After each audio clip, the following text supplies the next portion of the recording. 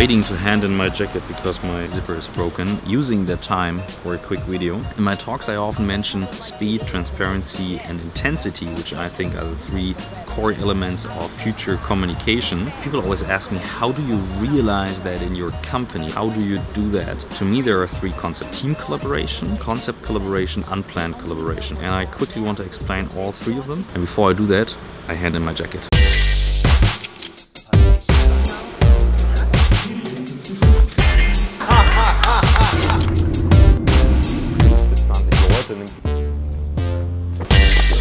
走。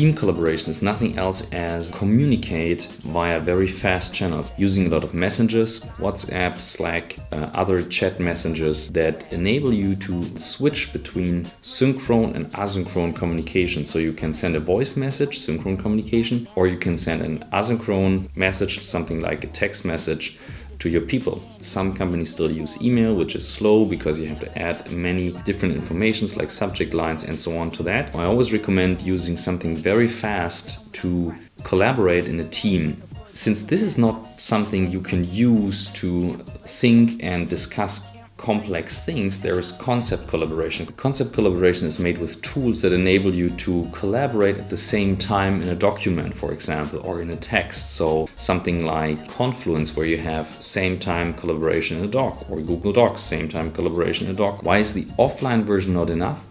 Very simple rule to keep in mind. It pushes together both sides. So asynchronous and synchronous will be closer together. You can write at the same time, but you can also do it later. And this brings up the speed. So that's how you increase the speed. And at the same time, it will make it more transparent what other people did in terms of changes. And the third one is the so-called unplanned collaboration.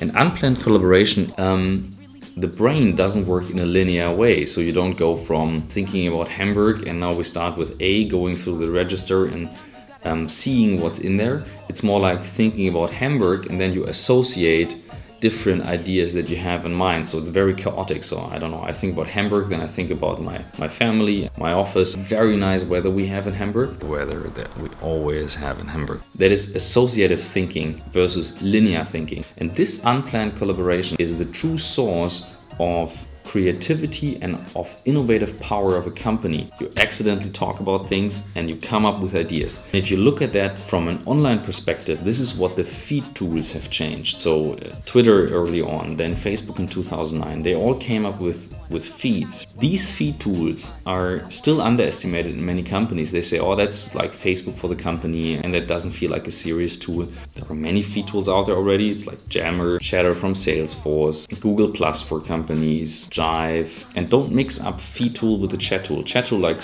like Slack, for example, is something more for the team communication. It won't help you to stay up with ideas out of a company. I even use my Twitter feed and my personal Facebook account for unplanned collaboration because I see what people and I really try to maintain these feeds in a good way. Meaning I comment for people, I like stuff that I like, I share stuff that I like because I stumble upon stuff that not necessarily is an answer to, to things I'm searching for or or I don't know, helps me with something directly, but it sparks an idea that I quite often need in order to, let's say, make a video, make a presentation, think about another problem. So that's what I call unplanned collaboration, and that's the, the quick thing I wanted to share this morning.